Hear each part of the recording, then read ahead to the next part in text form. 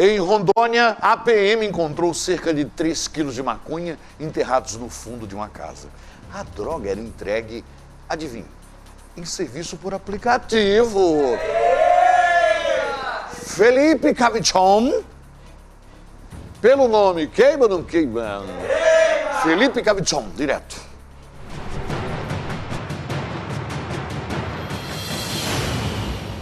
Passando aqui no bairro Parque dos Pioneiros, avistou dois indivíduos já bem conhecidos aí no meio policial, ambos de moletom, o clima não tá para isso.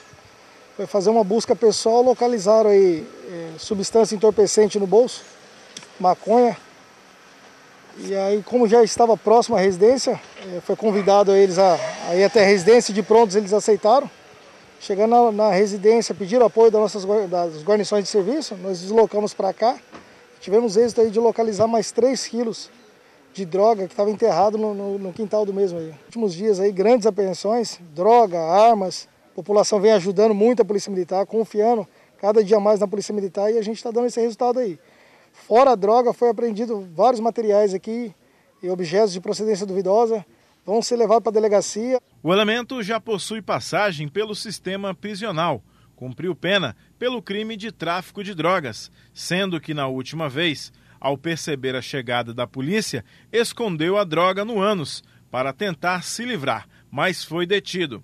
Desta vez, além da venda de drogas, também estaria fazendo transporte da droga, utilizando como fachada o trabalho de motorista de aplicativo. Mas a polícia está sempre atenta e observando a atitude destes elementos.